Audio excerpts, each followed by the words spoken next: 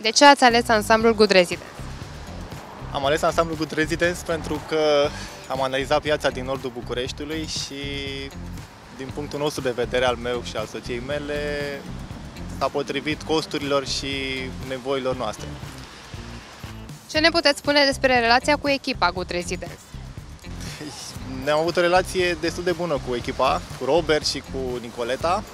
Nu am avut foarte multe tangențe, adică nu au fost nevoie de îmbunătățiri sau de alte lucruri speciale, ci doar idei de ale noastre de a le pune în practică în casă.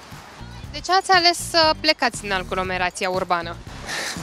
A fost visul nostru să, să nu stăm în apartament, am vrut să, să fim liberi, să avem curtea noastră și să, să ne creștem copiii la curte, nu acasă.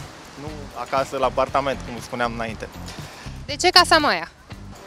Casa Maia ne-a plăcut foarte mult pentru că este doar cu, doar cu un etaj și ne place pentru că e greu de spus, pentru că soția mea, spun acum o minci, pentru că soția mea a vrut o casă cu, cu scări, a vrut să aibă o scară de lemn, dar până la urmă a trecut peste asta și am ales o casă numai cu parter pentru că la bătrânețe o să ne fie mai ușor. Și nu numai asta, dar nu știu, asta îmi vine acum în minte.